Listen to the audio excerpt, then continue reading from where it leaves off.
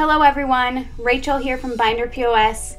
Today I'm going to talk to you guys about how to market current sales that you have going on as well as upcoming product releases.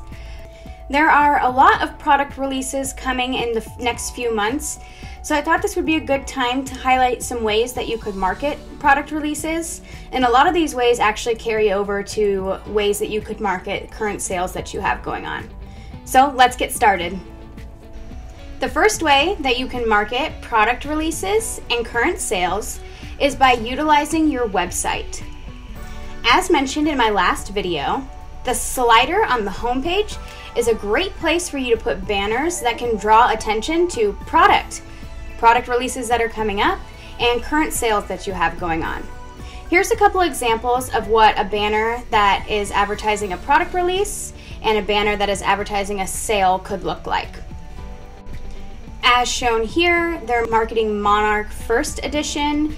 As you can see, they have the pre-order today marketing the product release. This is a great way to get interest and orders in as you're leading up to the product release. Next, as you can see here, they have put together multiple products at a lower price and they're advertising that sale. The second way that you can market product releases and current sales is by utilizing your social media platforms. In order to reach as many customers as possible, Make sure that you are posting consistently on social media, advertising current sales and product releases. It's important to note that with current sales, you should be posting consistently as the sale is going on. For product releases, you should be posting consistently leading up to the product release, advertising when the product will be available. Last but not least, make sure that every post that you post on social media has a call to action to either the page for the current sale that's going on or a page for people to pre order or express interest in a product that hasn't been released yet. Here's some examples of what this could possibly look like for Facebook posts.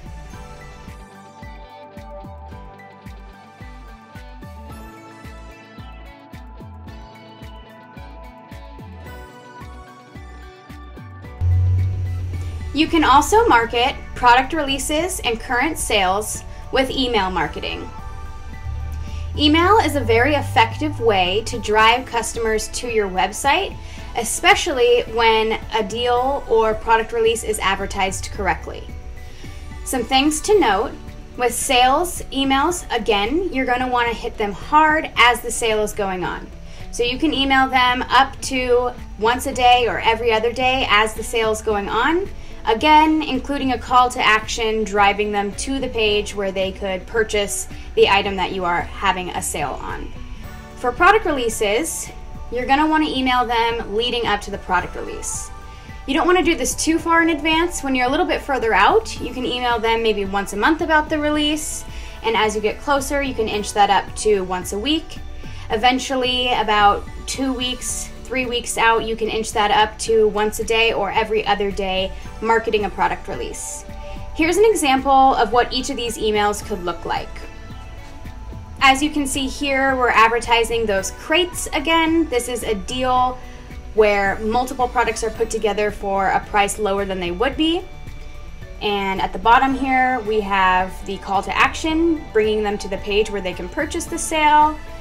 Next, we have this email. This is for a pre-order. As you can see, they're advertising a date in the future, letting them know that this date is coming up. And again, call to action, bringing them to the page where they can pre-order the product. Once you've taken care of those three marketing steps, the final piece to the puzzle is marketing at your physical store location. This is probably the simplest of all the marketing steps, it is as easy as hanging signs and posters around your store that advertise either the current sale that you have going on or the upcoming product release. There are two things to note when it comes to marketing at your physical store. First, hang posters and signs in the areas of your store that have the highest foot traffic. Second, with that in mind, Make sure that you're hanging these signs and posters in the area of your store that are related to the product that you're advertising. So if you're advertising a Pokemon release, make sure that these posters are posted in the Pokemon section of your store. If you're marketing a Magic the Gathering product release, make sure that you're hanging those posters in the Magic the Gathering section of your store. In many ways, the same marketing strategies can be used for both current sales and product releases. The main point to take away is that with sales, you want to focus your marketing efforts as the sale is going on. With product releases, you want to focus your marketing efforts leading up to the product release. I hope that these ideas have you thinking about ways that you're going to market upcoming product releases. If you're looking for more marketing advice, as always, make sure you tune into our video next week but in the meantime, you can check out our ultimate marketing guide for local game stores in the comments below. Until next week.